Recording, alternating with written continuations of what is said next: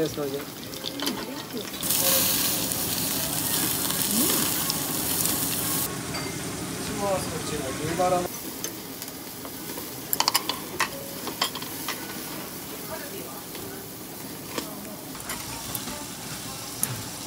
Try this, the middle one. Mm. There goes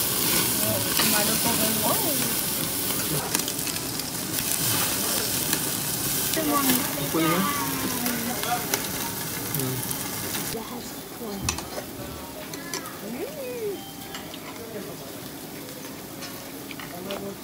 And look, it's light.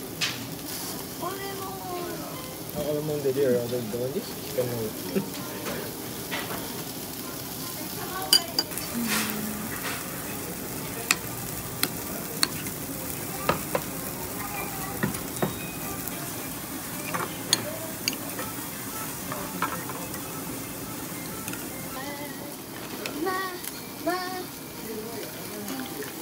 もうちょっと。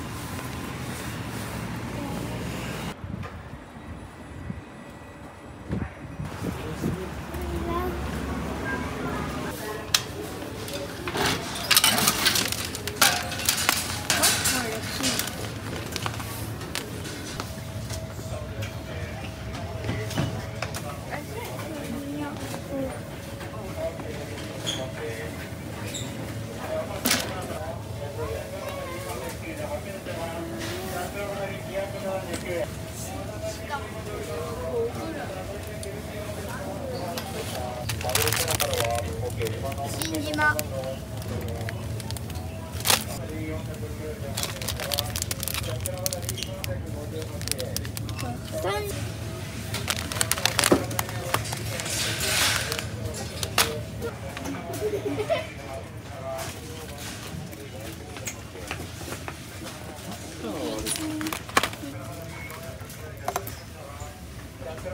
350円。